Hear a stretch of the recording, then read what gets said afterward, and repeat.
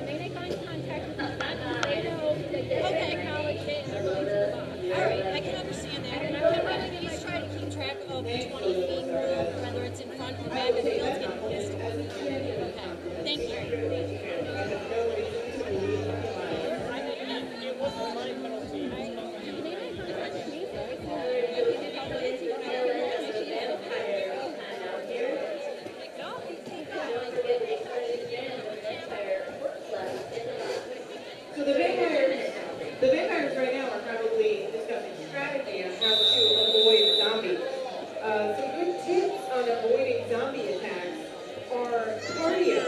Cardio is incredibly important when fighting zombies. Now, they are